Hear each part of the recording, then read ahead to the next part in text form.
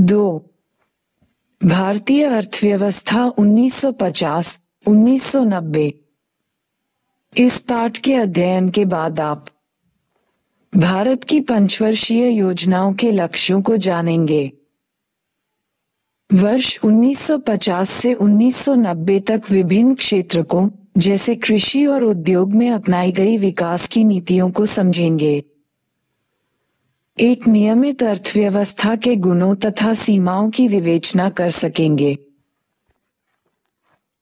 भारत में योजना का मुख्य उद्देश्य, विकास की एक ऐसी प्रक्रिया प्रारंभ करना है जो रहन सहन के स्तर को ऊँचा उठाए तथा लोगों के लिए समृद्ध एवं वैविध्यपूर्ण जीवन के नए अवसर उपलब्ध कराएगी। प्रथम पंचवर्षीय योजना। 2.1 परिचय। 15 अगस्त 1947 के दिन भारत में स्वतंत्रता का एक नया प्रभात उदित हुआ। अंततः 200 वर्षों के ब्रिटिश शासन के बाद हम अपने भाग्य के विधाता बन गए। अब राष्ट्र के नवनिर्माण का कार्य हमारे अपने हाथों में था। स्वतंत्र भारत के नेताओं को अन्य बातों के साथ साथ ये भी तय करना था कि हमारे देश में कौन सी आर्थिक प्रणाली सबसे उपयुक्त रहेगी। जो केवल कुछ लोगों के लिए नहीं बल्कि सर्वजन कल्याण के लिए कार्य करेगी। विभिन्न प्रकार की आर्थिक प्रणालियाँ हो सकती हैं। देखिए बॉक्स दो दशमलव एक पर जवाहरलाल नेहरू को समाजवाद का प्रतिमान सबसे अच्छा लगा। किंतु वे भी भूतपूर्व सोवियत संघ की उस नीति के पक्षधर नहीं थे, जिसमें उत्पादन के सभी साधन, खेत और कारखाने, सरकार के स्वामित्व के अंतर्गत थे। कोई निजी संपत्ति नहीं थी। लोकतंत्र के प्रति वचनबद्ध भारत जैसे देश में सरकार के लिए पूर्व सोवियत संघ की तरह अपने नागरिकों के भू स्वामित्व के प्रतिमानों तथा अन्य संपत्तियों को परिवर्तित कर पाना संभव नहीं था। नेहरू तथा स्वतंत्र भारत के अनेक अन्य नेताओं और चिंतकों ने मिलकर नव स्वतंत्र भारत के लिए पूंजीवाद तथा समाजवाद के अतिवादी व्याख्या के किसी विकल्प की खोज की। बुनियादी तौर पर यद्यपि उन्हें समाजवाद से सहानुभूति थी, फिर भी उन्होंने ऐसी आर्थिक प्रणाली अपनाई जो उनके विचार में समाजवाद की श्रेष्ठ विशेषताओं से युक्त, किंतु कमियों से मुक्त थी। इसके अनुसार भारत एक समाजवादी समाज होगा, जिसमें सार्वजनिक क्षेत्र के एक सशक्त क्षेत्र होगा, जिसके अंतर्गत निजी संपत्ति और लोकतंत्र का भी स्थान होगा। सरकार अर्थव्यवस्था के लिए योजना बनाएगी, देखिए बॉक्स दो दशमलव दो। निजी क्षेत्र को भी योजना प्रयास का एक अंग बनने के लिए प्रोत्साहित किया जाएगा। औद्योगिक नीति प्रस्ताव 1948 तथा भारतीय संविधान के नीति निदेशक सिद्धांतों का भी यही दृष्टिकोण है। वर्ष 1950 में प्रधानमंत्री की अध्यक्षता में योजना आयोग की स्थापना की गई। इस प्रकार पंचवर्षीय योजनाओं के युग का सूत्रपात हुआ। इन्हें कीजिए। विश्व में प्रचलित विभिन्न आर्थिक प्रणालियों का एक चार्ट बनाए। पूंजीवादी, समाजवादी तथा मिश्रित अर्थव्यवस्था वाले देशों की सूची बनाए। ग्रेटर देन किसी कृषि फॉर्म पर अपनी कक्षा के साथ भ्रमण की योजना बनाए। कक्षा के साथ समूह बनाएँ और प्रत्येक समूह को एक विशेष विषय में जानकारी एकत्र करने का काम सौंप दें। उदाहरण के लिए, इस भ्रमण का उद्देश्य इसमें खर्च होने वाली धन राशि, लगने वाला समय तथा संसाधन, साथ जाने वाले ऐसे व्यक्ति जिनसे संपर्क स्थापित करना है। भ्रमण के स्थानों के नाम, पूछे जाने वाले संभावित प्रश्न आदि। अपने शिक्षक की सहायता से इन विशिष्ट उद्देश्यों का संग्रह कीजिए तथा ऐसे कृषि फार्म के भ्रमण की सफलता के दीर्घकालिक उद्देश्यों से उनकी तुलना कीजिए। बॉक्स दो दशमलव एक आर्थिक प्रणालियों के प्रकार। प्रत्येक समाज को तीन प्रश्नों के उत्तर देने होते हैं। देश में किन वस्तुओं और सेवाओं का उत्पादन किया जाए? डॉट वस्तुएँ और सेवाएँ किस प्रकार उत्पादित की जाएँ? उत्पादक इस कार्य में मानव श्रम का अधिक प्रयोग करे अथवा पूंजी, मशीनों का। डॉट उत्पादित वस्तुओं और सेवाओं का विभिन्न व्यक्तियों के बीच किस प्रकार वितरण किया जाना चाहिए? इन सभी प्रश्नों का एक उत्तर तो मांग और पूर्ति का बाज़ार की शक्तियों पर निर्भर करता है। बाज़ार अर्थव्यवस्था में, जिसे पूंजीवादी अर्थव्यवस्था भी कहते हैं, उन्हीं उपभोक्ता वस्तुओं का उत्पादन होता है, जिनकी बाज़ार में मांग है। इसमें वही वस्तुएँ उत्पादित की जाती हैं, जिन्हें देश के घरेलू या विदेशी बाजारों में सलाब बेचा जा सके। यदि कारों की मांग है तो कारों का उत्पादन होगा और साइकिलों की मांग है तो साइकिलों का उत्पादन होगा। यदि श्रम पूंजी की अपेक्षा सस्ता है तो अधिक श्रम प्रधान विधियों का प्रयोग होगा, और यदि श्रम की अपेक्षा पूंजी सस्ती है उत्पादन की अधिक पूंजी प्रधान विधियों का प्रयोग होगा। पूंजीवादी अर्थव्यवस्था में उत्पादित वस्तुओं का विभिन्न व्यक्तियों के बीच वितरण उनकी आवश्यकताओं के अनुसार नहीं होता। अधिकांश विभाजन इस आधार पर होता है कि व्यक्तियों की क्रय क्षमता कितनी है और वे किन वस्तुओं और सेवाओं को खरीदने की क्षमता रखते हैं। अभिप्राय यह है कि खरीदने के लिए जेब में रुपये होने चाहिए। कम कीमत पर गरीबों के लिए घर आवश्यक है, किंतु इसकी गणना बाज़ार मांग को ध्यान में रखकर नहीं की जानी चाहिए, क्योंकि मांग के अनुसार गरीबों की क्रय शक्ति नहीं है। परिणाम स्वरूप इस वस्तु की उत्पादन और पूर्ति बाज़ार शक्ति के अनुसार नहीं हो सकती है। हमारे प्रथम प्रधानमंत्री जवाहरलाल नेहरू को ऐसी व्यवस्था पसंद नहीं थी। क्योंकि ऐसी व्यवस्था को अपनाने से हमारे देश के अधिकांश लोगों को अपनी स्थिति सुधारने का अवसर ही नहीं मिल पाता। समाजवादी समाज इन तीनों प्रश्नों के उत्तर पूर्णतया भिन्न तरीके से देता है। समाजवादी समाज में सरकार ही यह निर्णय लेती है कि समाज की आवश्यकताओं के अनुसार भिन्न वस्तुओं का उत्पादन किया जाए। यह माना जाता है कि सरकार यह जानती है कि देश के लोगों के हित में क्या है। इसीलिए लोगों की वैयक्तिक इच्छाओं को कोई महत्व नहीं दिया जाता। सरकार ही यह निर्णय करती है कि वस्तुओं का उत्पादन तथा वितरण किस प्रकार किया जाए। सिद्धांततः यह माना जाता है कि समाजवाद में वितरण लोगों की आवश्यकता के आधार पर होता है, उनकी क्रय क्षमता के आधार पर नहीं। इसके विपरीत एक समाजवादी राष्ट्र अपने सभी नागरिकों को निशुल्क स्वास्थ्य सेवाएँ सुलभ कराता है। समाजवादी व्यवस्था में निजी संपत्ति का कोई स्थान नहीं होता क्योंकि प्रत्येक वस्तु राज्य की होती है। उदाहरण के लिए चीन और क्यूबा में अधिकतर आर्थिक गतिविधियाँ सामाजिक सिद्धांत द्वारा निर्देशित होती हैं।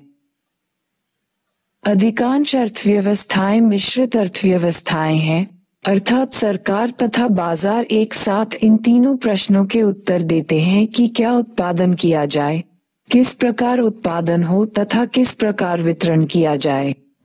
मिश्रित अर्थव्यवस्थाओं में बाज़ार उन्हीं वस्तुओं और सेवाओं को सुलभ कराता है, जिसका वह अच्छा उत्पादन कर सकता है, तथा सरकार उन आवश्यक वस्तुओं और सेवाओं को सुलभ कराती है, जिन्हें बाज़ार सुलभ कराने में विफल रहता है। बॉक्स दो दशमलव दो योजना क्या है? योजना इसकी व्याख्या करती है कि किसी देश के संसाधनों का प्रयोग किस प्रकार किया जाना चाहिए। योजना के कुछ सामान्य तथा कुछ विशेष उद्देश्य होते हैं, जिनको एक निर्दिष्ट समयावधि में प्राप्त करना होता है। भारत में योजनाएँ पाँच वर्ष की अवधि की होती थी और इसे पंचवर्षीय योजनाएँ कहा जाता था। ये शब्दावली राष्ट्रीय नियोजन में अग्रणी देश पूर्व सोवियत संघ से ही ली गई थी। हमारे योजना के वर्ष 2017 तक के प्रलेखों में केवल पाँच वर्ष की योजना अवधि में प्राप्त किए जाने वाले उद्देश्यों का ही उल्लेख नहीं किया गया। अपितु उनमें आगामी 20 वर्षों में प्राप्त किए जाने वाले उद्देश्यों का भी उल्लेख होता है। इस दीर्घकालिक योजना को परिप्रेक्ष्यात्मक योजना कहते हैं। पंचवर्षीय योजनाओं द्वारा परिप्रेक्ष्यात्मक योजनाओं के लिए आधार प्राप्त होने की अपेक्षा की जाती है। ये तो संभव नहीं होगा कि सभी योजनाओं में उसके सभी लक्ष्यों को एक समान महत्व दिया जाए। वस्तुतः विभिन्न लक्ष्यों में कुछ अंतर्त्व भी हो सकता है। उदाहरण के लिए यदि प्रौद्योगिकी श्रम की आवश्यकता को कम करती है तो आधुनिक प्रौद्योगिकी के शुरू करने के लक्ष्य तथा रोज़गार बढ़ाने के लक्ष्य में विरोध हो सकता है। आयोजकों को इस प्रकार के विरोधों का संतुलन करना पड़ता है। ये कार्य इतना सहज नहीं है। भारत की विभिन्न योजनाओं में अलग अलग लक्ष्यों पर बल दिया गया है। भारत की पंचवर्षीय योजनाएँ यह नहीं बताती थी कि प्रत्येक वस्तु और सेवा का कितना उत्पादन किया जाएगा। यह न तो संभव है और न ही आवश्यक। पूर्व सोवियत संघ ने ये कार्य करने का प्रयास किया था और वह पूरी तरह विफल रहा। अतः इतना ही पर्याप्त है कि योजनाएँ उन्हीं क्षेत्रकों के विषय में स्पष्ट लक्ष्य निर्धारित करें जिनमें उनकी महत्वपूर्ण भूमिका हो। जैसे विद्युत उत्पादन और सिंचाई आदि। शेष को बाज़ार पर छोड़ दिया जाना ही अधिक श्रेयस्कर रहता है। 2.2 पंचवर्षीय योजनाओं के लक्ष्य। किसी योजना के स्पष्ट निर्दिष्ट लक्ष्य होने चाहिए। पंचवर्षीय योजनाओं के लक्ष्य थे समृद्धि, आधुनिकीकरण, आत्मनिर्भरता और समानता। इसका अर्थ यह नहीं है कि प्रत्येक योजना में इन लक्ष्यों को एक समान महत्व दिया गया है। सीमित संसाधनों के कारण प्रत्येक योजना में ऐसे लक्ष्यों का चयन करना पड़ता है, जिनको प्राथमिकता दी जानी है। हाँ योजनाकारों को ये सुनिश्चित करना होता है कि जहाँ तक संभव हो, चारों उद्देश्यों में कोई अंतर विरोध न हो। आइए योजना के इन लक्ष्यों के विषय में विस्तार जानने का प्रयास करें। समृद्धि इसका अर्थ है देश में वस्तुओं और सेवाओं की उत्पादन क्षमता में वृद्धि। इसका अभिप्राय उत्पादक पूंजी के अधिक भंडार या परिवहन बैंकिंग आदि सहायक सेवाओं का विस्तार या उत्पादक पूंजी तथा सेवाओं की। दक्षता में वृद्धि से है। अर्थशास्त्र की भाषा में आर्थिक समृद्धि का प्रामाणिक सूचक सकल घरेलू उत्पाद जीडीपी में निरंतर वृद्धि है। जीडीपी एक वर्ष की अवधि में देश में हुए सभी अंतिम वस्तुओं और सेवाओं के उत्पादन का बाज़ार मूल्य होता है। आपने यह अवधारणा कक्षा एक्स में भी पढ़ी है। यदि जीडीपी को एक केक मान लिया जाए तो समृद्धि का अर्थ इसके आकार में वृद्धि होगा। यदि केक बड़ा होगा तो अधिक लोग उपभोग कर पाएँगे। यदि भारतीय जनता को अधिक समृद्ध और विविधतापूर्ण जीवन यापन करना है, प्रथम पंचवर्षीय योजना के अनुसार तो वस्तुओं और सेवाओं का अधिक उत्पादन करना आवश्यक है। देश का सकल घरेलू उत्पाद देश की अर्थव्यवस्था के विभिन्न क्षेत्रकों से प्राप्त होता है। ये क्षेत्रक हैं कृषि क्षेत्रक, औद्योगिक क्षेत्रक और सेवा क्षेत्रक। इन क्षेत्रकों के योगदान से ही अर्थव्यवस्था का ढांचा तैयार होता है। कुछ देशों में सकल घरेलू उत्पाद की समृद्धि में कृषि का योगदान अधिक होता है तो कुछ में सेवा। क्षेत्र की वृद्धि इसमें अधिक योगदान करती है।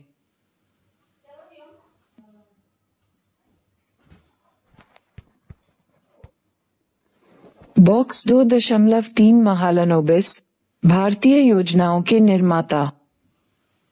भारत की पंचवर्षीय योजनाओं के निर्माण में अनेक प्रसिद्ध विचारकों का योगदान रहा है।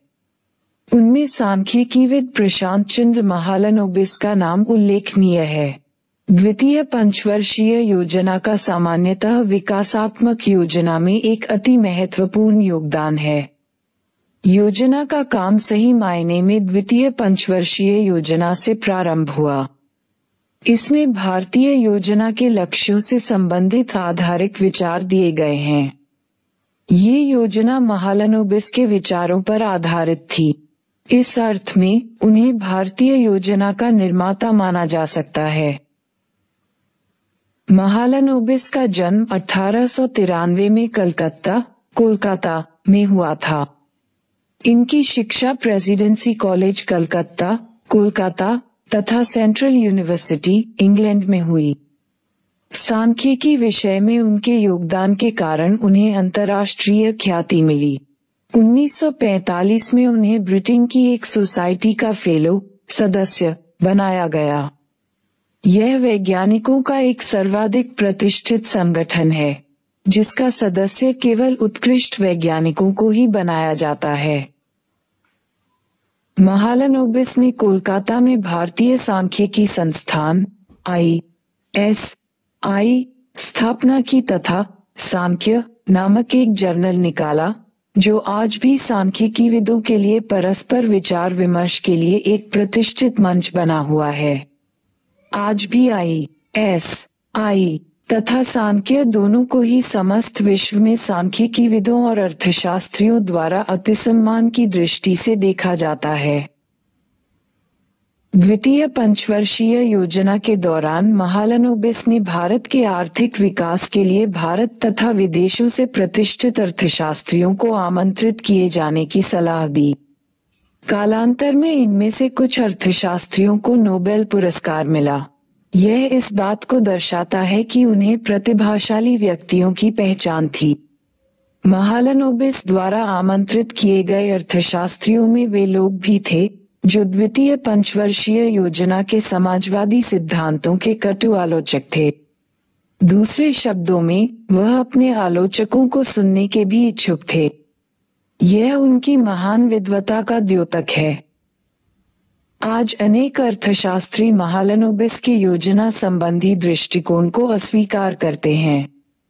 परंतु भारत को आर्थिक प्रगति के पथ पर अग्रसर करने में उनकी महत्वपूर्ण भूमिका के लिए उन्हें सदैव स्मरण किया जाएगा।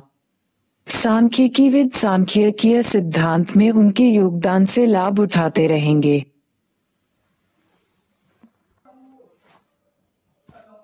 बॉक्स दो दशमलव चार सेवा क्षेत्र देश के विकास के साथ साथ इसमें एक संरचनात्मक परिवर्तन आता है।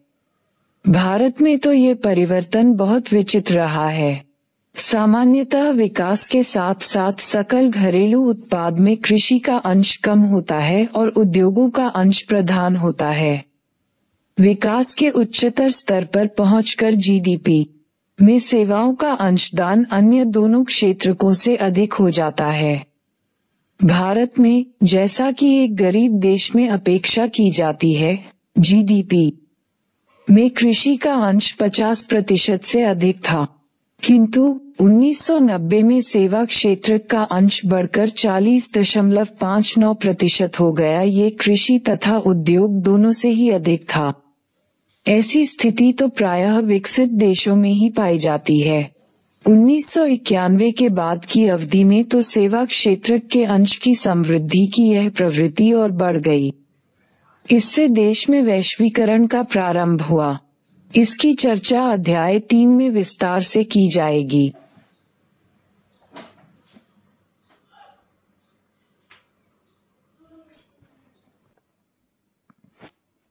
आधुनिकीकरण वस्तुओं और सेवाओं का उत्पादन बढ़ाने के लिए उत्पादकों को नई प्रौद्योगिकी अपनानी पड़ती है।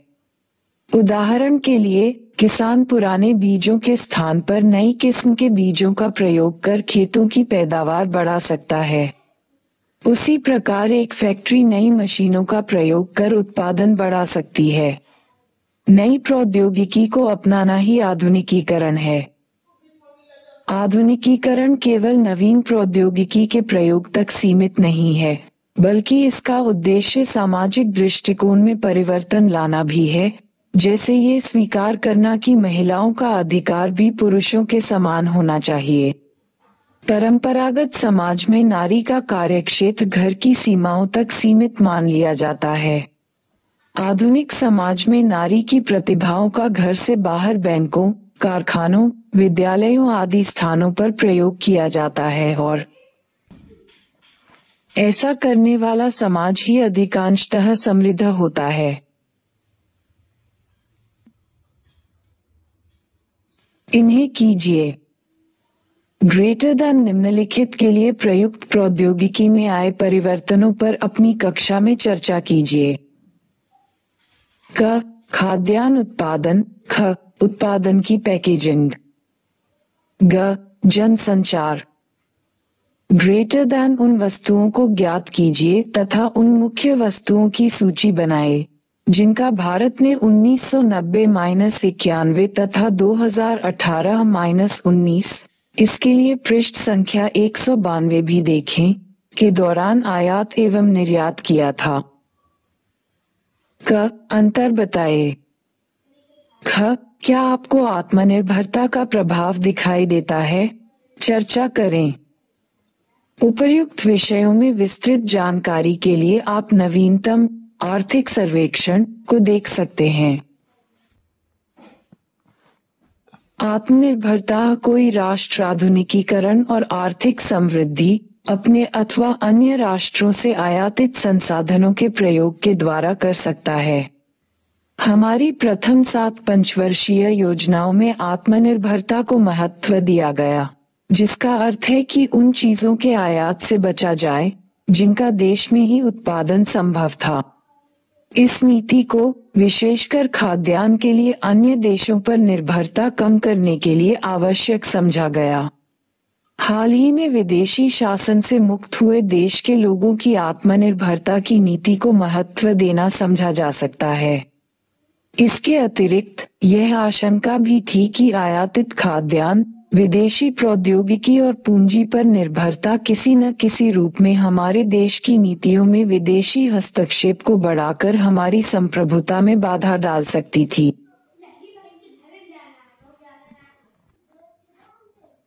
समानता केवल समृद्धि, आधुनिकीकरण और आत्मनिर्भरता के द्वारा ही जनसामान्य के जीवन में सुधार नहीं आ सकता।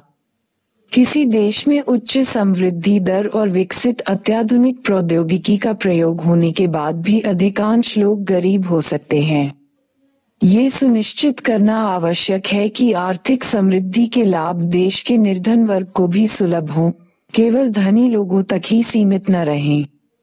अतः समृद्धि, आधुनिकीकरण और आत्मनिर्भरता के साथ साथ समानता भी महत्वपूर्ण है प्रत्येक भारतीय को भोजन अच्छा आवास, शिक्षा, स्वास्थ्य सेवाएँ जैसी मूलभूत आवश्यकताओं को पूरा कर पाने में समर्थ होना चाहिए और धन संपत्ति के वितरण की असमानताएँ भी कम होनी चाहिए। आइए, अब ये जानने का प्रयास करें कि 1950 से 1990 तक की अवधि में लागू की गई प्रथम सात पंचवर्षीय योजनाओं ने किस प्रकार इन चार लक्ष्यों की प्राप्ति के प्रयास किए तथा कृषि उद्योग और व्यापार के संदर्भ में ये प्रयास कहाँ तक सफल रहे? वर्ष उन्नीस सौ इक्यानवे के बाद। अपनाई गई नीतियों और विकासात्मक मुद्दों के बारे में आप अगले अध्याय में पढ़ेंगे। बॉक्स दो दशमलव पाँच स्वामित्व तथा प्रेरणाएँ। किसान को भूमि यह नीति इस विचारधारा पर आधारित है कि यदि किसानों को भूमि का स्वामी बना दिया जाए तो वे उत्पादन बढ़ाने में अधिक रुचि, उन्हें अधिक प्रेरणा मिलेगी, लेंगे। ऐसा इसलिए है क्योंकि भू स्वामित्व से कृषक को अधिक उत्पादन का लाभ मिलता है। काश्तकारों को भूमि में सुधारों की कोई प्रेरणा नहीं होती, क्योंकि अधिक उत्पादन से जमींदार को ही लाभ मिलता है। प्रेरणा प्रदान करने में स्वामित्व के महत्व को बताने के लिए पूर्व सोवियत संघ के किसानों के द्वारा बिक्री हेतु फलों की पैकिंग करने में लापरवाही का उदाहरण दिया जाता है। वे सड़े गले फलों और ताजे फलों को एक ही बॉक्स में पैक कर देते थे। आज प्रत्येक किसान ये जानता है कि सड़े गले फल ताजे फलों को भी खराब कर देते हैं, यदि उन्हें एक साथ पैक किया जाए। इससे किसान को ही हानि होगी, क्योंकि फल बिक नहीं पाएँगे। अतः प्रश्न उठता है कि सोवियत संघ के किसान ऐसा काम क्यों करते थे जो उनको साफ़ तौर पर हानि पहुँचाए?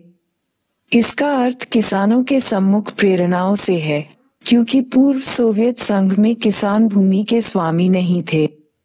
अतः न उन्हें लाभ होता था और न हानि। स्वामित्व न होने के कारण कृषकों को दक्ष होने की कोई प्रेरणा नहीं होती थी।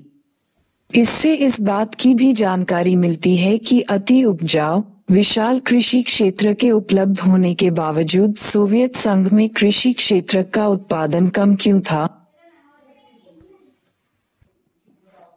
2.3 कृषि आपने पहले अध्याय में पढ़ा कि औपनिवेशिक शासन काल में कृषि क्षेत्र में न तो समृद्धि हुई और न ही समता रह पाए स्वतंत्र भारत के नीति निर्माताओं को इन मुद्दों पर विचार करना पड़ा तथा उन्होंने भू सुधारों तथा उच्च पैदावार वाली किस्म के बीजों के प्रयोग द्वारा भारतीय कृषि में एक क्रांति का संचार किया। भू सुधार स्वतंत्रता प्राप्ति के समय देश की भूधारण पद्धति में जमींदार, जागीरदार आदि का वर्चस्व था। ये खेतों में कोई सुधार किए बिना मात्र लगान की वसूली किया करते थे। भारतीय कृषि क्षेत्र की निम्न उत्पादकता के कारण भारत को संयुक्त राज्य अमेरिका, यूएसए से अनाज का आयात करना पड़ा। कृषि में समानता लाने के लिए भू सुधारों की आवश्यकता हुई, जिसका मुख्य ध्येय जोतों के स्वामित्व में परिवर्तन करना था। स्वतंत्रता के एक वर्ष बाद ही देश में बिचौलियों के उन्मूलन तथा वास्तविक कृषकों को ही भूमि का स्वामी बनाने जैसे कदम उठाए गए। इसका उद्देश्य ये था कि भूमि का स्वामित्व किसानों को निवेश करने की प्रेरणा देगा। बॉक्स 2.5 बशर्ते उन्हें पर्याप्त पूंजी उपलब्ध कराई जाए। दरअसल समानता को बढ़ाने के लिए भूमि की अधिकतम सीमा निर्धारण एक दूसरी नीति थी। इसका अर्थ है किसी व्यक्ति की कृषि भूमि के स्वामित्व की अधिकतम सीमा का निर्धारण करना। इस नीति का उद्देश्य कुछ लोगों में भू स्वामित्व संकेंद्रण को कम करना था। बिचौलियों के उन्मूलन का नतीजा ये था कि लगभग 200 लाख काश्तकरों का सरकार से सीधा संपर्क हो गया तथा वे जमींदारों के द्वारा किए जा रहे शोषण से मुक्त हो गए। भू स्वामित्व से उन्हें उत्पादन में वृद्धि के लिए प्रोत्साहन मिला। इससे कृषि उत्पादन में वृद्धि हुई। किंतु बिचौलियों के उन्मूलन कर समानता के लक्ष्य की पूर्ण प्राप्ति नहीं हो पाए। कानून की कमियों का लाभ उठाकर कुछ भूतपूर्व जमींदारों ने कुछ क्षेत्रों में बहुत बड़े बड़े भूखंडों पर अपना स्वामित्व बनाए रखा। कुछ मामलों में काश्तकारों को बेदखल कर दिया गया और भूस्वामियों ने अपने किसान भूस्वामी, वास्तविक, कृषक होने का दावा किया। कृषकों को भूमि का स्वामित्व मिलने के बाद भी निर्धनतम कृषि श्रमिकों जैसे बटाईदार तथा भूमिहीन श्रमिक को भूमि सुधारों से कोई लाभ नहीं हुआ। अधिकतम भूमि सीमा निर्धारण कानून में भी बाधाएँ आईं। बड़े जमींदारों ने इस कानून को न्यायालयों में चुनौती दी, जिसके कारण इसे लागू करने में देर हुई। इस अवधि में वे अपनी भूमि, निकट संबंधियों आदि के नाम कराकर कानून से बच गए। कानून में भी अनेक कमियाँ थी। जिनके द्वारा बड़े जमींदारों ने भूमि पर अधिकार बनाए रखने के लिए लाभ उठाया।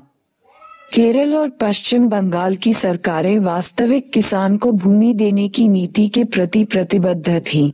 इसी कारण इन प्रांतों में भू सुधार कार्यक्रमों को विशेष सफलता मिली। दुर्भाग्यवश, अन्य प्रांतों की सरकारों में इस स्तर की प्रतिबद्धता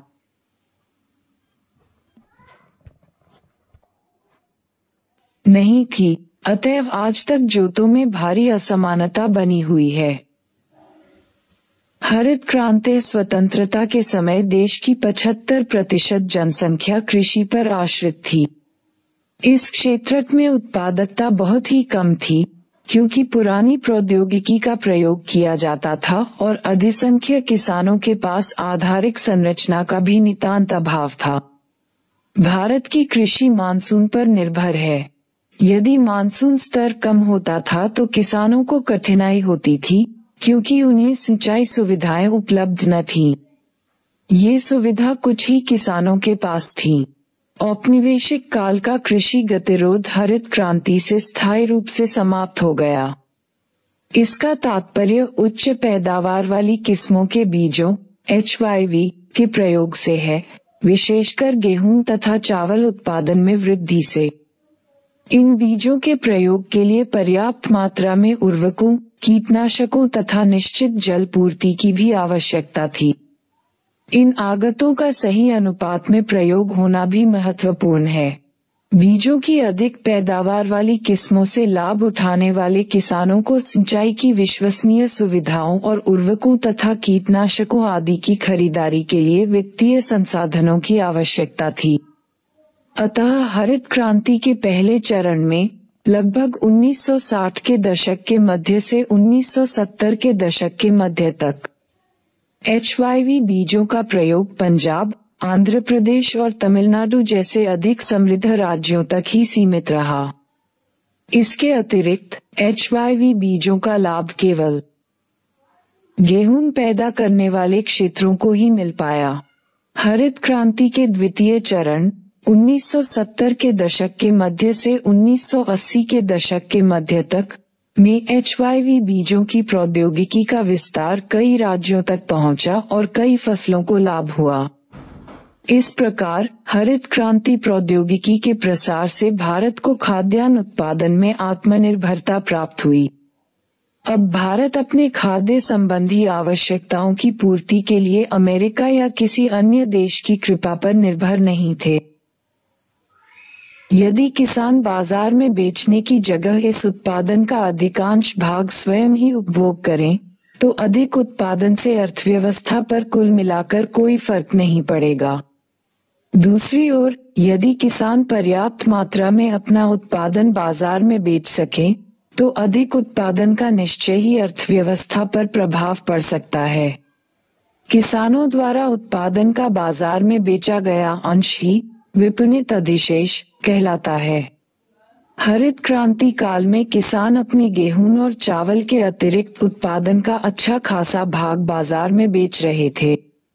इसके फलस्वरूप खाद्यान्नों की कीमतों में उपभोग की अन्य वस्तुओं की अपेक्षा कमी आई। अपनी कुल आय के बहुत बड़े प्रतिशत का भोजन पर खर्च करने वाले निम्न आय वर्गों को कीमतों में इस सापेक्ष कमी से बहुत लाभ हुआ। हरित क्रांति के कारण सरकार पर्याप्त खाद्यान्न प्राप्त कर सुरक्षित स्टॉक बना सकी, जिसे खाद्यान्नों की कमी के समय प्रयोग किया जा सकता था। यद्यपि हरित क्रांति से देश बहुत लाभान्वित हुआ है, पर यह प्रौद्योगिकी पूरी तरह निरापद नहीं है। एक जोखिम ये था कि इससे छोटे और बड़े किसानों के बीच असमानताएँ बढ़ने की संभावनाएँ थी। क्योंकि केवल बड़े किसान अपेक्षित आगतों को खरीदने में सक्षम थे, जिससे उन्हें हरित क्रांति का अधिकांश लाभ प्राप्त हो जाता था इसके अतिरिक्त इन फ़सलों में कीटनाशकों के आक्रमण की भी संभावनाएँ अधिक होती हैं। ऐसी दशा में इस प्रौद्योगिकी को अपनाने वाले छोटे किसानों की फ़सल का सब कुछ नष्ट हो जाता है सौभाग्यवश, सरकार द्वारा किए गए कुछ उपायों के कारण ये आशंकाएँ सत्य साबित नहीं हुई। सरकार ने निम्न ब्याज दर पर छोटे किसानों को ऋण दिए और उर्वकों पर आर्थिक सहायता दी, ताकि छोटे किसानों को ये आवश्यक आगत उपलब्ध हो सके। छोटे किसानों को इन आगतों के प्राप्ति से छोटे खेतों की उपज और उत्पादकता भी समय के साथ बड़े खेतों की पैदावार के बराबर हो गई। इस प्रकार हरित क्रांति से छोटे बड़े सभी किसानों को लाभ मिला। सरकार द्वारा स्थापित अनुसंधान संस्थानों की सेवाओं के कारण छोटे किसानों के जोखिम भी कम हो गए, जो कीटनाशकों के आक्रमण से उनकी फ़सलों की बर्बादी का कारण थे। यदि सरकार ने इस प्रौद्योगिकी का लाभ छोटे किसानों को उपलब्ध कराने के लिए व्यापक प्रयास नहीं किए होते तो इस क्रांति का लाभ केवल धनी किसानों को ही मिलता। बॉक्स दो दशमलव छह कीमतें संकेतकों के रूप में। आपने पिछली कक्षा में पढ़ा होगा कि बाज़ार में कीमतों का निर्धारण किस प्रकार होता है। ये समझना आवश्यक है कि कीमतें वस्तुओं की उपलब्धता का संकेतक हैं। यदि कोई वस्तु दुर्लभ हो जाती है तो इसकी कीमत बढ़ जाती है और कीमतों के आधार पर उसके प्रयोग के संबंध में सही निर्णय लेने की इसके उपभोक्तों को प्रेरणा मिलती है। यदि निम्न पूर्ति के कारण पानी की कीमत बढ़ जाती है तो लोग इसका उपयोग सावधानी पूर्वक करेंगे। उदाहरण के लिए, पानी संरक्षण के लिए वे बगीचे में पानी देना बंद कर सकते हैं। जब भी पेट्रोल की कीमतें बढ़ती हैं तो हम शिकायत करते हैं और सरकार पर दोषारोपण करते हैं। परंतु, पेट्रोल की कीमत में वृद्धि इसकी अधिक कमी को दर्शाती है और कीमत वृद्धि इस बात का संकेतक है कि पेट्रोल कम मात्रा में उपलब्ध है। ये पेट्रोल का कम उपयोग करने और वैकल्पिक ईंधनों की तलाश की प्रेरणा देता है।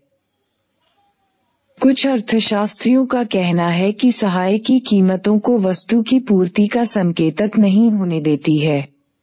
जब बिजली और पानी को सहाय की युक्त दरों पर या निःशुल्क प्रदान किया जाता है तो उनकी कमी का ध्यान रखे बिना उनका फिजूल उपयोग किया जाएगा। यदि पानी निःशुल्क प्रदान किया जाएगा तो किसान पानी प्रधान फ़सलें उगाएँगे। भले ही उस क्षेत्र में जल संसाधनों की कमी हो और इन फ़सलों से दुर्लभ संसाधन भी कम हो जाएँगे। यदि पानी की कीमत दुर्लभता के अनुसार निर्धारित की जाए तो किसान क्षेत्र के अनुकूल उपयुक्त फ़सलें उगाएँगे। उर्वरक कीटनाशकों पर सहायकी संसाधनों का प्रयोग बढ़ाएगी, जो पर्यावरण के लिए हानिकारक हो सकता है। सहायकी से फिजूल उपयोग को बढ़ावा मिलता है। प्रेरणा की दृष्टि से सहायकी पर विचार करें और स्वयं से यह पूछें कि क्या किसानों को निःशुल्क बिजली प्रदान करना आर्थिक दृष्टि से उचित है। सहायकी पर बहस आजकल कृषि क्षेत्र को दी जा रही आर्थिक सहायकी का आर्थिक। औचित्य एक गर्मा गर्म बहस का मुद्दा बन गया है। इस बात से तो सभी सहमत कि किसानों द्वारा और सामान्यतः छोटे किसानों द्वारा विशेष रूप से नई एच प्रौद्योगिकी को अपनाने के लिए प्रोत्साहन प्रदान करने हेतु सहायकी दी जानी आवश्यक थी। किसान प्रायः किसी भी नई प्रौद्योगिकी को जोखिम पूर्ण समझते हैं। अतः किसानों द्वारा नई प्रौद्योगिकी की परख के लिए सहायकी आवश्यक थी। कुछ अर्थशास्त्रियों का मत है कि एक बार प्रौद्योगिकी का लाभ मिल जाने तथा उसके व्यापक प्रचलन के बाद सहायकी धीरे धीरे समाप्त कर देनी चाहिए, क्योंकि उनका उद्देश्य पूरा हो गया है। यही नहीं, यद्यपि सहायकी का ध्येय तो किसानों को लाभ पहुंचाना है, किंतु उर्वरक सहायकी का लाभ बड़ी मात्रा में प्रायः उर्वरक उद्योग तथा अधिक समृद्ध क्षेत्र के किसानों को ही पहुँचता है। अतः ये तर्क दिया जाता है कि उर्वकों पर सहाय की जारी रखने का कोई औचित्य नहीं है। इनसे लक्षित समूह को लाभ नहीं होता और सरकारी कोष पर अनावश्यक भारी बोझ पड़ता है। देखिए बॉक्स दो दशमलव छह। दूसरी ओर कुछ विशेषज्ञों का मत है कि सरकार को कृषि सहायक जारी रखनी चाहिए, क्योंकि भारत में कृषि एक बहुत ही जोखिम भरा व्यवसाय है। अधिकांश किसान बहुत गरीब हैं और सहायकी को समाप्त करने से वे अपेक्षित आगतों का प्रयोग नहीं कर पाएँगे। सहायकी समाप्त करने से गरीब और अमीर किसानों के बीच असमानता और बढ़ेगी तथा समता के लक्ष्य का उल्लंघन होगा। इन विशेषज्ञों का तर्क है कि यदि सहायकी से बड़े किसानों तथा उर्वरक उद्योग को अधिक लाभ हो रहा है तो सही नीति सहाय की समाप्त करना नहीं, बल्कि ऐसे कदम उठाना है, जिनसे कि केवल निर्धन किसानों को ही इनका लाभ मिले। 1960 के दशक के अंत तक देश में कृषि उत्पादकता की वृद्धि से भारत खाद्यान्नों में आत्मनिर्भर हो गया। यह निश्चय ही गौरवपूर्ण उपलब्धि रही है। इसके बावजूद नकारात्मक पहलू ये रहा है कि 1990 तक भी देश की पैंसठ प्रतिशत जनसंख्या कृषि में लगी थी। अर्थशास्त्री इस निष्कर्ष पर पहुँचे हैं कि जैसे जैसे देश संपन्न होता है, सकल घरेलू उत्पाद में, कृषि के योगदान में और उस पर निर्भर जनसंख्या में पर्याप्त कमी आती है। भारत में 1950 माइनस नब्बे की अवधि में यद्यपि जीडीपी में कृषि के अंशदान में तो भारी कमी आई है, पर कृषि पर निर्भर जनसंख्या के अनुपात में नहीं, जो 1950 में सड़सठ दशमलव पाँच शून्य प्रतिशत थी और 1990 तक घटकर चौसठ दशमलव नौ शून्य प्रतिशत ही हो पाए। इस क्षेत्र में इतनी उत्पादन वृद्धि तो न्यूनतम श्रम के प्रयोग द्वारा भी संभव थी। फिर इस क्षेत्र में इतनी बड़ी संख्या में लोगों के लगे रहने की क्या आवश्यकता थी? इसका उत्तर यही है कि उद्योग क्षेत्र और सेवा क्षेत्र कृषि क्षेत्र में काम करने वाले लोगों को नहीं खपा पाए।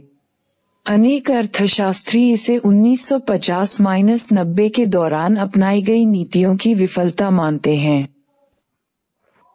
इन्हें कीजिए। एक छात्र समूह को किसी कृषि फार्म पर ले जाएँ और प्रयुक्त कृषि विधियों का अध्ययन करें, अर्थात बीजों की किस्में, उर्वरक, मशीनें, सिंचाई के साधन, संबद्ध लागतें, विपणीय अधिशेष तथा अर्जित आय तैयार करें। यदि विधियों में परिवर्तन की जानकारी कृषक परिवार के किसी बुज़ुर्ग वृद्ध सदस्य से प्राप्त की जाएगी तो अधिक अच्छा रहेगा। उसके बाद क निष्कर्षों पर अपनी कक्षा में चर्चा करें।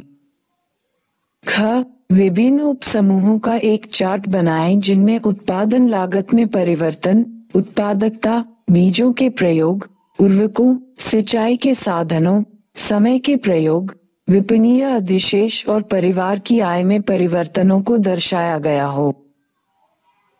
ग्रेटर देन विश्व बैंक, अंतर्राष्ट्रीय मुद्रा कोष विश्व व्यापार संगठन, जी सेवन, जी एट और जी दस देशों की बैठकों के बारे में समाचार पत्रों की कतरने एकत्र करें। कृषि सहायकी पर विकसित और विकासशील देशों द्वारा व्यक्त विचारों पर चर्चा करें। कृषि सहायकी के पक्ष विपक्ष में तर्कों का अध्ययन करें। आपका इस विषय में क्या मत है? ग्रेटर देन कुछ अर्थशास्त्रियों का तर्क है कि अन्य देशों, विशेषकर विकसित देशों के किसानों को अधिक सहायकी देकर अपना उत्पादन अन्य देशों को निर्यात करने को प्रोत्साहित किया जाता है। क्या आप समझते हैं कि हमारे किसान उन देशों के किसानों से मुकाबला कर पाएँगे? चर्चा करें। 2.4 उद्योग और व्यापार। अर्थशास्त्रियों ने ऐसा पाया है कि निर्धन राष्ट्र तभी प्रगति कर पाते हैं जब उनमें अच्छे औद्योगिक क्षेत्र होते हैं। उद्योग रोज़गार उपलब्ध कराते हैं। और यह कृषि में रोज़गार की अपेक्षा अधिक स्थायी होते हैं। इनसे आधुनिकीकरण और समग्र समृद्धि को बढ़ावा मिलता है। इन्हीं कारणों से हमारी पंचवर्षीय योजनाओं में औद्योगिक विकास पर अत्यधिक बल दिया गया था। आपने पिछले अध्याय में पढ़ा होगा कि स्वतंत्रता के समय भारत में बहुत कम उद्योग थे। अधिकांश उद्योग सूती वस्त्र, पत्सन आदि तक ही सीमित थे। जमशेदपुर और कोलकाता में लोहा व इस्पात।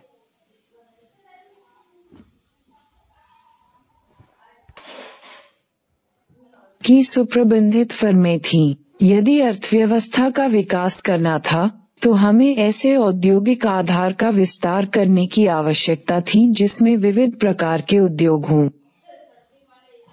भारतीय औद्योगिक विकास में सार्वजनिक और निजी क्षेत्र हमारे नीति निर्माताओं के समक्ष एक बहुत बड़ा प्रश्न ये था कि औद्योगिक विकास में सरकार और निजी क्षेत्र की क्या भूमिका होनी चाहिए। स्वतंत्रता प्राप्ति के समय भारत के उद्योगपतियों के पास भारतीय अर्थव्यवस्था के विकास हेतु उद्योगों में निवेश करने के लिए अपेक्षित पूंजी नहीं थी।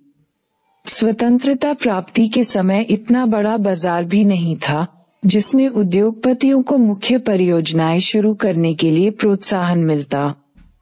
यद्यपि उनके पास ऐसा करने के लिए पूंजी भी थी इन्हीं कारणों से सरकार को औद्योगिक क्षेत्र को प्रोत्साहन देने में व्यापक भूमिका निभानी पड़ी। इसके अतिरिक्त भारतीय अर्थव्यवस्था को समाजवाद के पथ पर अग्रसर करने के लिए द्वितीय पंचवर्षीय योजना में यह निर्णय लिया गया कि सरकार अर्थव्यवस्था में बड़े तथा भारी उद्योगों का नियंत्रण करेगी। इसका अर्थ ये था कि सरकार उन उद्योगों पर पूरा नियंत्रण रखेगी जो अर्थव्यवस्था के लिए महत्वपूर्ण थे। निजी क्षेत्र की नीतियाँ सार्वजनिक क्षेत्र की नीतियों की अनुपूरक होंगी और सार्वजनिक क्षेत्र अग्रणी भूमिका निभाएगा। औद्योगिक नीति प्रस्ताव 1956 भारी उद्योगों पर नियंत्रण रखने के सरकार के लक्ष्य के अनुसार औद्योगिक नीति प्रस्ताव 1956 को अंगीकार किया गया। इस प्रस्ताव को द्वितीय पंचवर्षीय योजना का आधार बनाया गया। द्वितीय योजना में ही समाज के समाजवादी स्वरूप का आधार तैयार करने का प्रयास किया गया। इस प्रस्ताव के अनुसार उद्योगों को तीन वर्गों में वर्गीकृत किया गया। प्रथम वर्ग में वे उद्योग शामिल थे, जिन पर सरकार का अनन्य स्वामित्व था। दूसरे वर्ग में वे उद्योग शामिल थे जिनके लिए निजी क्षेत्र सार्वजनिक क्षेत्र के साथ मिलकर प्रयास कर सकते थे, परंतु जिनमें नई इकाइयों को शुरू करने की एकमात्र ज़िम्मेदारी राज्य की होती। तीसरे वर्ग में वे उद्योग शामिल थे, जो निजी क्षेत्र के अंतर्गत आते थे।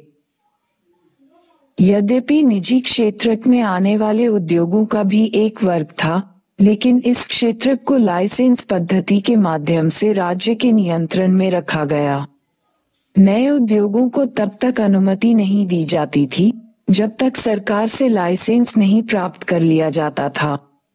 इस नीति का प्रयोग पिछड़े क्षेत्रों में उद्योगों को प्रोत्साहित करने के लिए किया गया। यदि उद्योग आर्थिक रूप से पिछड़े क्षेत्रों में लगाए गए तो लाइसेंस प्राप्त करना आसान था। इसके अतिरिक्त उन इकाइयों को कुछ रियायतें जैसे, कर लाभ तथा कम प्रशुल्क पर बिजली दी गई। इस नीति का उद्देश्य क्षेत्रीय समानता को बढ़ावा देना था। वर्तमान उद्योग को भी उत्पादन बढ़ाने या विविध प्रकार के उत्पादन, वस्तुओं की नई किस्मों का उत्पादन करने के लिए लाइसेंस प्राप्त करना होता था। इसका अर्थ यह सुनिश्चित करना था कि उत्पादित वस्तुओं की मात्रा अर्थव्यवस्था द्वारा अपेक्षित मात्रा से अधिक न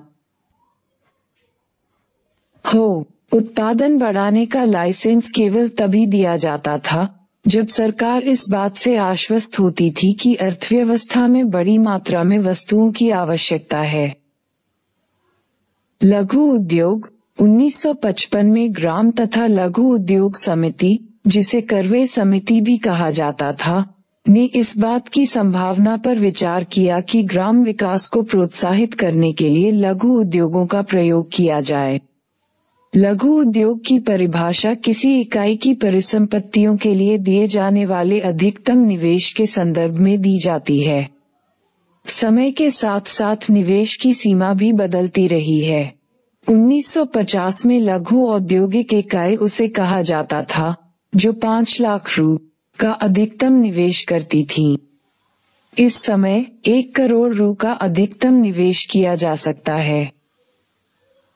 ऐसा माना जाता था कि लघु उद्योग अधिक श्रम प्रधान होते हैं, अर्थात उनमें बड़े पैमाने के उद्योगों की अपेक्षा श्रम का प्रयोग अधिक किया जाता है। अतः वे अधिक रोजगारों का सृजन करते हैं। लेकिन ये बड़ी औद्योगिक फर्मों के साथ प्रतिस्पर्धा नहीं कर सकते। ये स्पष्ट है कि लघु उद्योगों के विकास के लिए बड़ी फर्मों से उनकी रक्षा किए जाने की आवश्यकता है।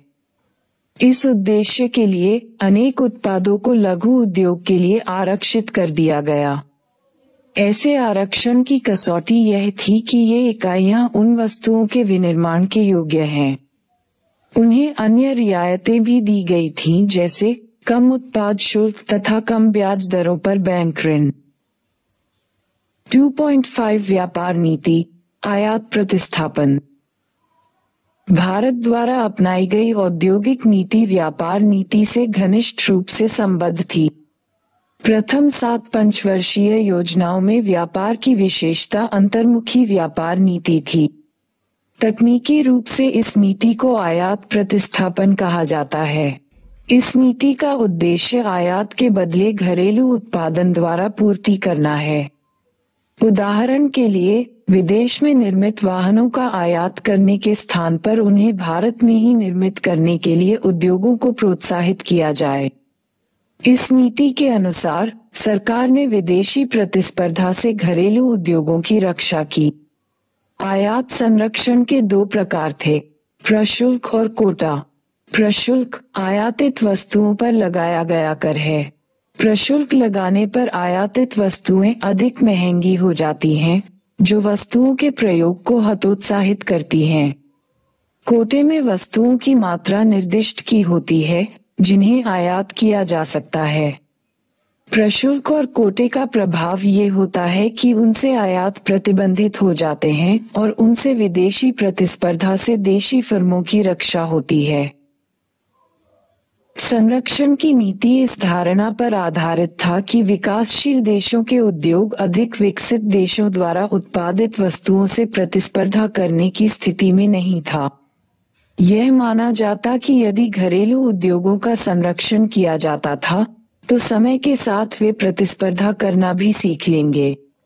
हमारे योजनाकारों को भी यह आशंका थी कि यदि आयातों पर प्रतिबंध लगाया जाता था तो विलासिता की वस्तुओं के आयात पर विदेशी मुद्रा खर्च होने की संभावना बढ़ जाती। 1980 के दशक के मध्य तक निर्यात संवर्धन पर कोई गंभीर विचार नहीं किया गया था। औद्योगिक विकास पर नीतियों का प्रभाव प्रथम सात पंचवर्षीय योजनाओं के दौरान भारत के औद्योगिक क्षेत्र की उपलब्धियाँ वस्तुतः उल्लेखनीय रही हैं। औद्योगिक क्षेत्र द्वारा प्रदत्त जीडीपी का अनुपात 1950 माइनस इक्यावन में 13 प्रतिशत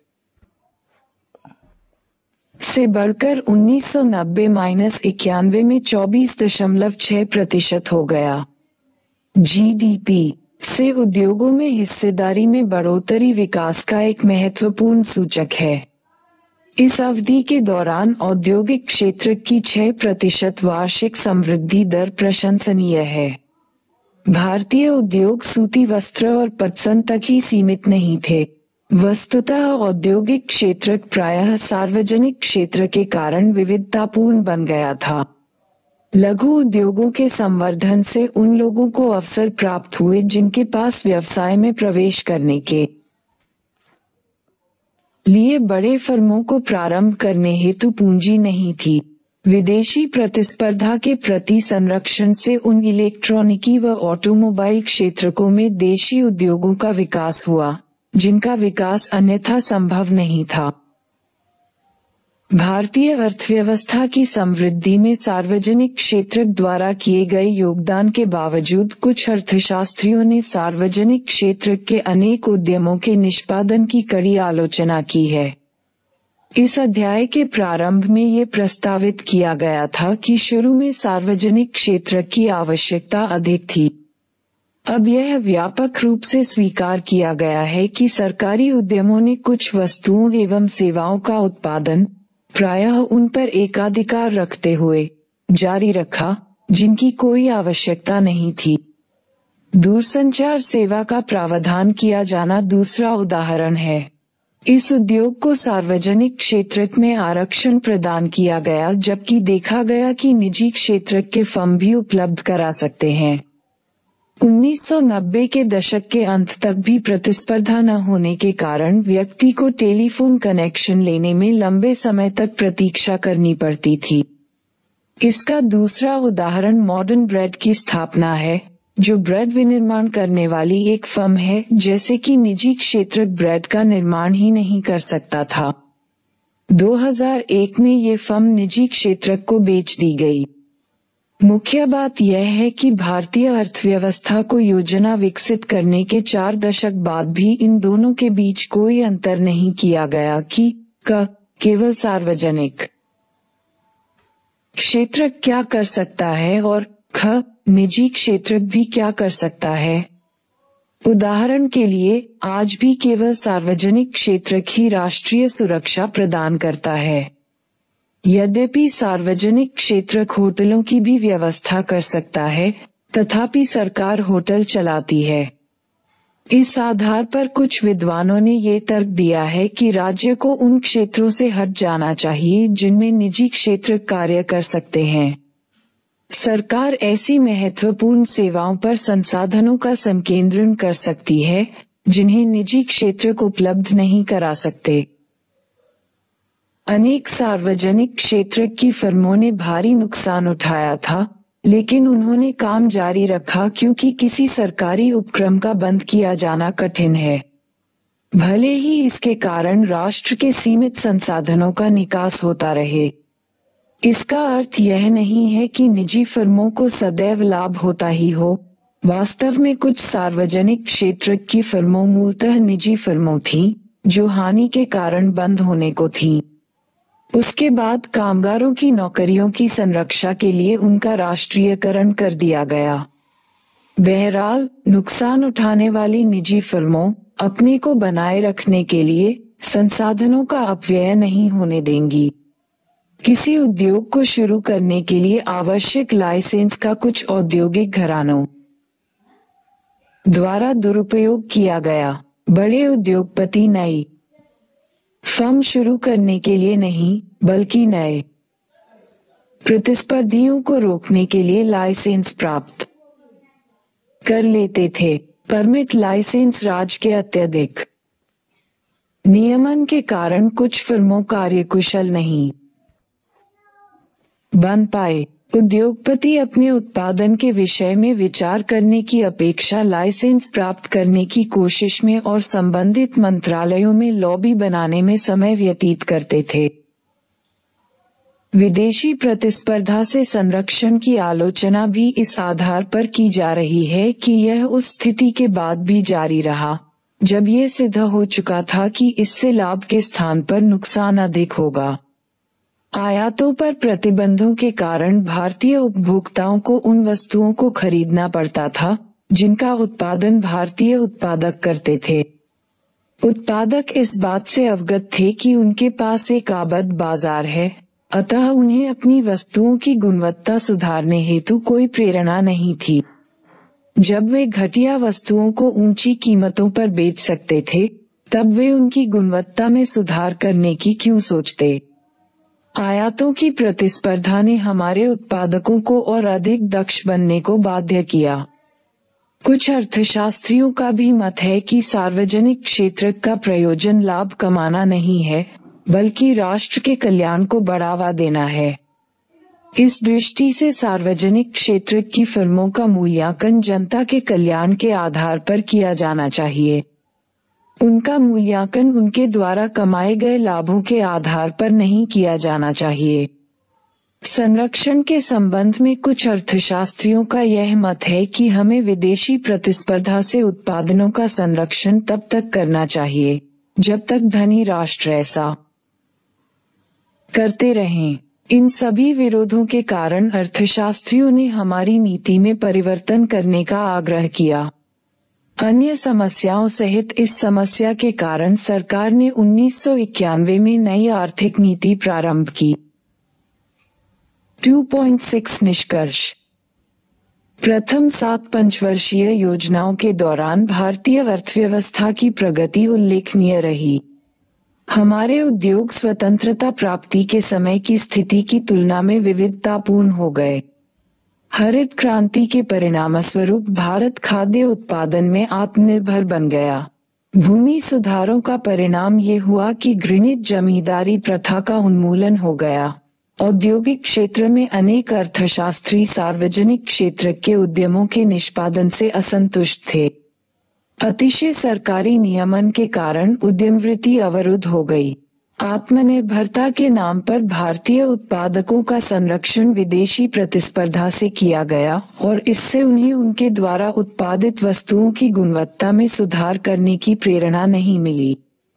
भारतीय नीतियाँ अंतर्मुखी थीं, उससे एक सशक्त निर्यात क्षेत्र विकसित करने में विफल रहे। बदलते हुए वैश्विक आर्थिक परिदृश्य के प्रसंग में ये सर्वत्र महसूस किया जा रहा था कि आर्थिक नीति में सुधार करने की आवश्यकता है। भारतीय अर्थव्यवस्था को और अधिक सफल बनाने के लिए उन्नीस सौ इक्यानवे में एक नई आर्थिक नीति शुरू की गई। इस विषय पर अगले अध्याय में चर्चा की जाएगी। पुनरावर्तन। ग्रेटर देन स्वतंत्रता प्राप्ति के बाद भारत ने एक आर्थिक पद्धति की कल्पना की जिसमें समाजवाद और पूंजीवाद की विशेषताएँ सम्मिलित थीं। इसकी परिणति मिश्रित अर्थव्यवस्था मॉडल के रूप में हुई ग्रेटर देन सभी आर्थिक योजनाएँ पंचवर्षीय योजनाओं के माध्यम से ही निर्मित की गई हैं। ग्रेटर देन पंचवर्षीय योजनाओं के लक्ष्य हैं समृद्धि, आधुनिकीकरण, आत्मनिर्भरता और समानता। ग्रेटर देन कृषि क्षेत्र में मुख्य नीतिगत पहल थे भूमि सुधार तथा हरित क्रांति। ग्रेटर देन इन पहलों से भारत को खाद्यान्नों के उत्पादन में आत्मनिर्भर बनने में सहायता मिली। कृषि पर निर्भर रहने वाले लोगों का अनुपात कम नहीं हुआ, जैसी की आशा थी। ग्रेटर देन औद्योगिक क्षेत्रों में नीतिगत आयात स्थानापन पहलों ने सकल घरेलू उत्पाद के लिए इसके योगदान में वृद्धि की। ग्रेटर देन औद्योगिक क्षेत्र में एक बड़ी कमी यह थी कि सार्वजनिक क्षेत्र की कार्य पद्धति कुशल नहीं थी, क्योंकि यह घाटे की ओर उन्मुख थी, जिसके परिणाम स्वरूप राष्ट्र के सीमित संसाधनों का बहिर्गमन और नुकसान हुआ। अभ्यास एक, योजना की परिभाषा दीजिए, प्रश्नवाचक चिन्ह। दो, भारत ने योजना को क्यों चुना? तीन, योजनाओं के लक्ष्य क्या होने चाहिए? उच्च पैदावार वाली किस्म एचवाईवी बीज क्या होते हैं? पाँच, विक्रय अधिशेष क्या है? छह कृषि क्षेत्र में लागू किए गए भूमि सुधार की आवश्यकता और उनके प्रकारों की व्याख्या कीजिए। सात, हरित क्रांति क्या है? इसे क्यों लागू किया गया और इससे किसानों को कैसे लाभ पहुँचा? संक्षेप में व्याख्या कीजिए। आठ, योजना उद्देश्य के रूप में समानता के साथ समृद्धि की व्याख्या कीजिए। नौ क्या रोज़गार सृजन की दृष्टि से योजना उद्देश्य के रूप में आधुनिकीकरण विरोधाभास पैदा करता है? व्याख्या कीजिए। दस। भारत जैसे विकासशील देश के रूप में आत्मनिर्भरता का पालन करना क्यों आवश्यक था? ग्यारह। किसी अर्थव्यवस्था का क्षेत्र गठन क्या होता है? क्या यह आवश्यक है कि अर्थव्यवस्था? के जीडीपी में सेवा क्षेत्र को सबसे अधिक योगदान करना चाहिए। टिप्पणी करें। बारह, योजना अवधि के दौरान औद्योगिक विकास में सार्वजनिक क्षेत्र को ही अग्रणी भूमिका क्यों सौंपी गई थी? तेरह, इस कथन की व्याख्या करें। हरित क्रांति ने सरकार को खाद्यान्नों के प्रापण द्वारा विशाल सुरक्षित भंडार बनाने के योग्य बनाया, ताकि वह कमी के समय उसका उपयोग कर सके।